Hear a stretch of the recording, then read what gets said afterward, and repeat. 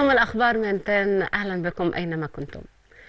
تمكنت قوات إنفاذ القانون في الجيش الثالث الميداني من القضاء على فردين تكفيريين وتدمير ست دراجات نارية وعدد من الأوكار تحتوي على كمية كبيرة من المواد التي تستخدم في تصنيع الأبوات الناسفة في وسط سيناء. هذا فضلا عن ضبط عربة ربع نقل على أحد المعابر محملة بكمية كبيرة من المواد المخدرة. وتواصل قوات الجيش الثالث الميداني جهودها للقضاء على العناصر التكفيرية والإجرامية في وسط سيناء.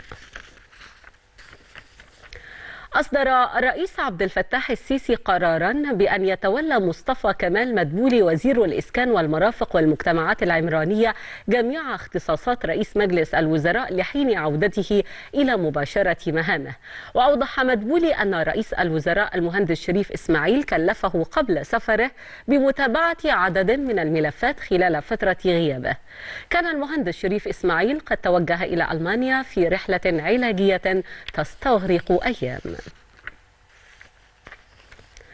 قال نائب محافظ البنك المركزي المصري جمال نجمة إن إجمالي حجم عمليات التجارة الخارجية المنفذة خلال الفترة منذ تحرير سعر الصرف في الثالث من نوفمبر 2016 حتى الآن بلغ نحو 66 مليار دولار.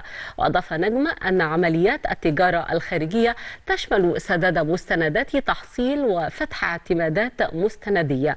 كما لفت نائب محافظ البنك المركزي المصري إلى أن حصيلة التدفقات النقدية في البنوك العاملة في السوق المحلية ارتفعت إلى أكثر من 57 مليار دولار منذ قرار تحرير سعر الصرف. التقى السيد أحمد أبو الغيط الأمين العام لجامعة الدول العربية خلال زيارته إلى لبنان برئيس الوزراء اللبناني سعد الحريري. وخلال لقاء حرص أبو الغيط على الاستماع إلى رؤية الحريري حول الوضع العام في لبنان حيث أعرب أبو الغيط عن وقوف الجامعة العربية في صف تعزيز الاستقرار في لبنان الذي يقر الجميع بخصوصية وضعه السياسي. تقدر الإشارة إلى أن الأمين العام للجامعة العربية كان قد التقى أيضا خلال زيارته لبيروت بكل من العماد ميشيل عون رئيس الجمهورية ونبيه بري رئيس المجلس النيابي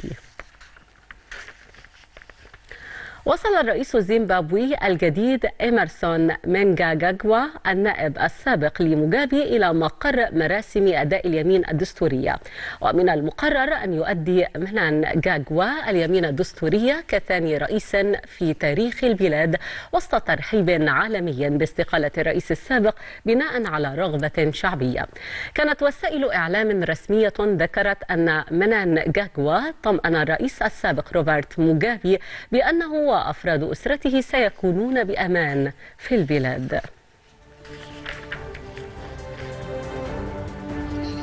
الموجز انتهى. نشكركم للمتابعة.